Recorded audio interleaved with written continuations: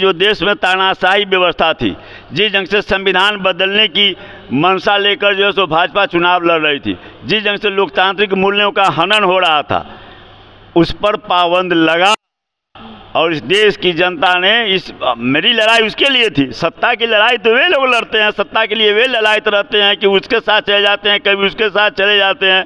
आज आप देख लीजिए तो भाजपा को जो है सो चार सीट उसको लूज करना पड़ा, जनता दल यू को चार सीट लूज करना पड़ा।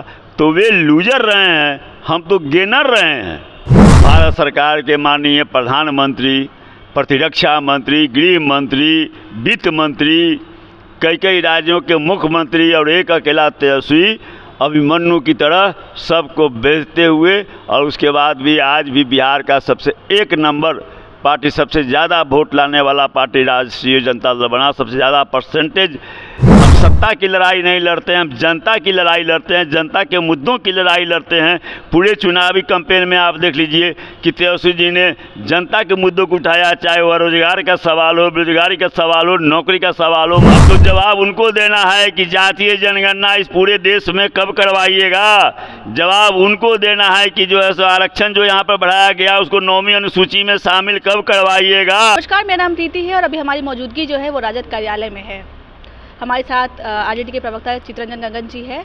और आज का मुद्दा ये है कि 250 से ज़्यादा रैली तेजस्वी यादव करते हैं, परिणाम आता है, चार सीट लाते हैं राजद। यानी कि ये जो है संजीवनी बूटी के हिसाब से हैं। बात करें 2014 की तो 2014 में भी चार सीट आते हैं, फिर 19 में आते हैं तो बिल्कुल गायब हो जाते हैं ज़ीरो पे। और फिर बात करें दो चौबीस की तो फिर चार सीट आता है। यानी चार से पीछा नहीं छूट रहा है। हम इनसे पूछेंगे कि जो लोकसभा चुनाव के जो परिणाम आए हैं इतनी मेहनत करने के बावजूद जब चार सीटें आती हैं तो क्या ये इनसे संतुष्ट है या फिर और आगे का लगा रहे थे अनुमान कि और अच्छा हो सकता था? नहीं हम लोग तो उम्मीद करते थे कि और भी सीट हम लोग समझते थे कि समझ रहे थे कि आना चाहिए। लेकिन अब चूँकि धन बल के सामने हम लोग नहीं टिक सकते हैं। अब ये तो मत कहिए कि नहीं टिक सकते। और दूसरी बात जो आप कर रही हैं इतना मेहनत किए तेजस्वी जी तो उसका रिज़ल्ट आया। जी। आप चार सीट आप आंक रही हैं दस सीट उसको कहिए। नौ सीट तो महागठबंधन जो है इंडिया गठबंधन उसको माने हासिल हुई है। नहीं हम सिर्फ़ राजद के परिप्रेक्ष्य में बात कर रहे हैं संतुष्ट है नहीं नहीं नहीं तेजस्वी जी जो कंपेनिंग किए राजद का ही केवल नहीं किए तेजस्वी जी इंडिया गठबंधन का किए। वो ठीक है लेकिन हाँ। तेईस सीटों पे आप चुनाव लड़ते हैं। उस पर भी हम आ रहे हैं और भले ही सीट हमको चार आया हो लेकिन आप देखिए तो वोट मेरा काफ़ी बड़ा है। 19 के तुलना में आप देखिएगा तो हम अब बिहार में सभी दलों से ज़्यादा हमको वोट आया है। एक करोड़ से ऊपर वोट हमको आया है। लेकिन जदयू वाले कह रहे थे मात्र अस्सी हज़ार आया ये नहीं नहीं बढ़ा चढ़ा के नहीं नहीं बढ़ा चढ़ा के जो जो भी है इलेक्शन कमीशन के वेबसाइट पर आप देख सकते हैं। आज के अखबारों में निकला है बजाबते से इलेक्शन कमीशन का जो है वह निकला है कि मेरा वोट जो है से पाँच से छः परसेंट बढ़ा है। सबसे ज़्यादा वोट परसेंटेज आरजेडी को मिला है लगभग तेईस परसेंट के लगभग। जबकि भाजपा और जनता दल यू जो है सो बीस से नीचे है। तो वोट परसेंटेज मेरा बढ़ा वोट बढ़ा सीट भले ही चार आया है, लेकिन आप देखिएगा रिज़ल्ट देखिए आप तो कई ऐसे क्षेत्र हैं, लगभग एक दर्जन ऐसे क्षेत्र हैं, जहाँ पर मार्जिनल वोट से हम चुनाव हारे। लड़ाई हुई, अब कहीं जो है सो तेरह हज़ार वोट से, कहीं दस हज़ार वोट से मार्जिनल वोट से हम जो है सो, लगभग एक दर्जन सीट पर हम चुनाव हारे। तो इसलिए उपलब्धि तो हुई। एक तरफ़ सत्ता है शासन है प्रशासन है सारी व्यवस्था है दूसरी तरफ़ अकेला एक तेजस्वी जो है सो लड़ाई लड़ रहे थे। तेजस्वी के नेतृत्व में नहीं नहीं महागठबंधन महागठबंधन थी लेकिन एक अकेले तेजस्वी जी लड़ाई लड़ रहे थे उनके नेतृत्व में लड़ाई हो रहा था। आप देख लीजिए महागठबंधन के और भी जो नेता थे माने उन लोगों का कार्यक्रम एक औपचारिक औपचारिकता का निर्वाह हुआ। लेकिन आप देख लीजिए कि 16 बार 17 बार माननीय प्रधानमंत्री जी को यहाँ पर आना पड़ा। गृह मंत्री जी कितना बार आए प्रतिरक्षा मंत्री आए, मुख्यमंत्री आए मध्य प्रदेश के, मुख्यमंत्री आए उत्तर प्रदेश के, मुख्यमंत्री आए छत्तीसगढ़ के। केंद्र सरकार के कितने मंत्री यहाँ पर आए, दर्जनों मंत्री यहाँ पर आए। तो जहाँ पर पूरा भारत सरकार, बिहार सरकार, बिहार के माननीय मुख्यमंत्री भारत सरकार के माननीय प्रधानमंत्री, प्रतिरक्षा मंत्री, गृह मंत्री, वित्त मंत्री कई कई राज्यों के मुख्यमंत्री और एक अकेला तेजस्वी अभिमन्यु की तरह सबको बेचते हुए और उसके बाद भी आज भी बिहार का सबसे एक नंबर पार्टी, सबसे ज़्यादा वोट लाने वाला पार्टी राष्ट्रीय जनता दल बना, सबसे ज़्यादा परसेंटेज वोट लाने वाला पार्टी राष्ट्रीय जनता दल बना और हमने प्राप्त किया है। आज आप देख लीजिए तो भाजपा को जो है सो चार सीट उसको लूज करना पड़ा, जनता दल यू को चार सीट लूज करना पड़ा। तो वे लूजर रहे हैं, हम तो गेनर रहे हैं।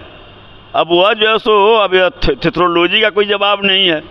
बोल रहे हैं कि जो कल तस्वीर जो सामने आई है, तेजस्वी यादव की, नीतीश कुमार के साथ बैठे हुए तो जदयू वाले कह रहे हैं कि पीछा पड़ने की आदत हो गई है।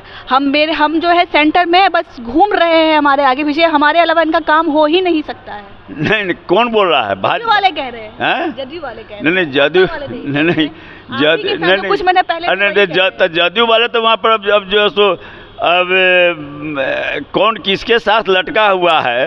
ये तो लोग देख रहा है। किसका सहा किसको सहारा चाहिए? भाजपा को सहारा चाहिए? इनको इनको सहारा चाहिए? उनको। तो आपको नहीं सहारा चाहिए नहीं नहीं नहीं नहीं अब तो नीतीश कुमार को ना फैसला करना है। हाँ, लेकिन जा तो नहीं नहीं नहीं नीतीश कुमार जी को देखिए वह वह निचले स्तर तक का सोच उन लोगों का है। अच्छा। राजनीति अपनी जगह पर है और व्यक्तिगत ताल्लुकात अपने जगह पर है। तेजस्वी जी को तो सारे लोगों ने पीएम से लेकर सीएम तक पता नहीं क्या क्या न कहा। क्या क्या न कहा गया इस चुनाव कंपेनिंग में जेल भेजने का धमकी दिया गया तुम ताम किया गया परिवार को गाली दिया गया सब चीज़ कहा गया। लेकिन कभी भी आपने देखा कि तेजस्वी जी ने मर्यादा का उल्लंघन किया हो? लेकिन जदयू वाले तो खुलकर कह रहे हैं कि अभी कह रहे हैं कि नीतीश कुमार बहुत महान हैं अच्छे हैं लेकिन जब जिस समय सत्ता परिवर्तन हुआ था जिस समय नीतीश कुमार गए थे बीजेपी के पास तो आपने सारी हदें पार कर दी थी बोलने की। नहीं नहीं एक एक उदाहरण बता दीजिए मैं चुनौती देता हूँ कि एक उदाहरण बता दीजिए कभी भी जो है सो मर्यादा का उल्लंघन अगर तेजस्वी जी ने किया हो चाहे प्रधानमंत्री जी हो चाहे मुख्यमंत्री जी हो तेजस्वी जी तो बराबर जो है सो जो है सो सम्मान देने का काम किया है नीतीश जी को। बराबर एक मैंने अपने चाचा का जो अति होना चाहिए, वह चाचा के रूप में संबोधित करते रहे हैं। कभी भी एक भी शब्द कोई बता दे या चुनौती मैं देता हूँ। बता दे कि हाँ साहब, ऐसा कभी कोई शब्द निकला हो तेजस्वी जी के मुँह से, जबकि तेजस्वी जी के बारे में क्या नहीं बोला गया? क्या क्या नहीं कहा गया? अच्छा एक सवाल फिर से मुद्दे से नहीं भटकते हैं। एक सवाल फिर से आता है कि लोग कह रहे हैं और जो है विपक्ष भी ये कह रहा है तेईस सीट पे आप चुनाव लड़ते हैं। मेरा यही कहना है तेईस सीट पे आप चुनाव लड़ते हैं हम्म। इतनी सारी रैलियाँ करते हैं महागठबंधन ये नहीं कह सकते कि सिर्फ़ बीजेपी के दिग्गज नेता आए हैं सारी पार्टियाँ राहुल गांधी भी आए खड़गे जी भी आए लगभग सभी लोग आए आपका समर्थन करने भी क्योंकि महागठबंधन में साथ थे। इसका फ़ायदा चार सीट ला करके आपको दिल से दिल पर हाथ रख के कहिए कि हुआ? नहीं, नहीं, आप संतुष्ट हैं? नहीं नहीं मैंने मैंने बताया मैं तो संतुष्ट हूँ।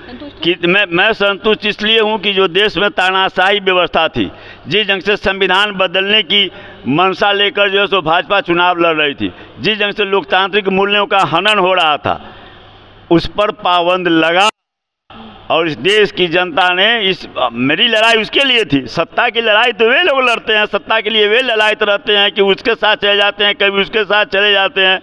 या तो उन लोग जो है इधर से उधर करते हैं। राजद कहीं इधर से उधर किया, अपने सिद्धांतों से समझौता किया, चाहे लालू जी को जेल जाना पड़े, चाहे जो तेजस्वी जी को धमकी देकर आप जो धमकी दे रहे हो सिद्धांतों से समझौता नहीं किया हम सत्ता की लड़ाई नहीं लड़ते हैं हम जनता की लड़ाई लड़ते हैं जनता के मुद्दों की लड़ाई लड़ते हैं पूरे चुनावी कैंपेन में आप देख लीजिए कि तेजस्वी जी ने जनता के मुद्दों को उठाया चाहे वह रोज़गार का सवाल हो बेरोजगारी का सवाल हो नौकरी का सवाल हो महँगाई का सवाल हो महिलाओं का सवाल हो नौजवानों का सवाल हो मजदूरों का सवाल हो दलितों का सवाल हो पिछड़ों का सवाल हो अति पिछड़ों का सवाल हो अल्पसंख्यकों का सवाल हो इन लोगों का आप देख लीजिए उठा कर देख लीजिए कि क्या कई लोगों का भाषण रहा क्या रहा?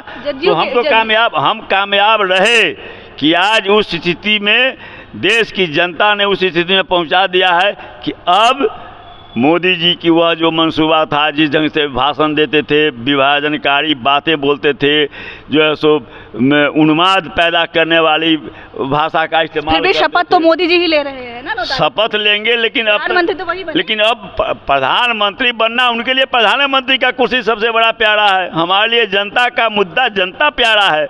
मैंने उस चीज़ पर रोक लगाया मैंने नहीं देश की जनता ने रोक लगा दिया। अब वे आप मनमानी नहीं कर सकते हैं आप संविधान के साथ छेड़खानी नहीं कर सकते हैं। संवैधानिक संस्थाओं की अवहेलना करना उनकी स्वायत्ता को आप नहीं छीन सकते हैं। जदयू के एमएलसी हैं नीरज कुमार। उन्होंने कहा कि जैसे 2005 के बाद से राजनीतिक संन्यास ये कह सकते हैं कि राजनीति से हट गए हैं लालू यादव। वैसे ही तेजस्वी यादव को भी अब आराम करना चाहिए बेड रेस्ट करना चाहिए क्योंकि मुद्दा तो उनके पास अब कुछ बचा ही नहीं है हार देख ही चुके हैं चार सीट लाए उस पर किस मुँह से बिहार की जनता को जवाब देंगे? जवाब तो उनको देना है कि जिसके साथ जा रहे हैं अब बिहार को विशेष राज्य का दर्जा कब दिलवाइएगा? अब तो जवाब उनको देना है कि जातीय जनगणना इस पूरे देश में कब करवाइएगा?